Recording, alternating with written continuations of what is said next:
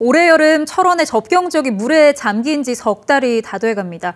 주민들의 삶은 일상으로 되돌아갔지만 아직 하천에 쌓인 흙더미를 지울 엄두도 내지 못하고 있는데요. 어찌된 영문인지 하초희 기자가 취재했습니다.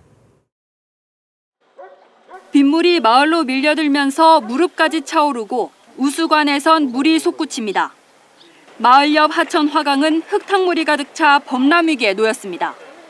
저게 이제 물이 차니까 이 말물이 빠져나가지를 못하지. 반대로 이제 압이 높아지니까 역류해가지고. 이후 철원군이 내놓은 수해 예방책은 배수 펌프장입니다. 마을로 밀려드는 물을 펌프를 이용해 화강으로 빼내겠다는 겁니다. 문제는 하천의 상태입니다. 온갖 잡목이 무성하게 자라 물길을 막고 있습니다. 상류에서 토사가 흘러내려 쌓이면서 하천 바닥을 가득 메웠습니다. 하천이 아닌 모래밭이 된 상황입니다.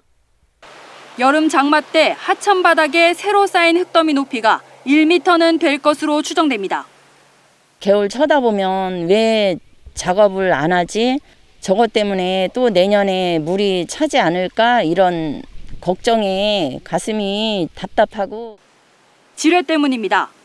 폭우 때 지뢰가 떠내려와 하천 어딘가에 묻혀 있을 수 있다 보니 나무를 베어내지도 흙을 퍼내지도 못하고 있습니다.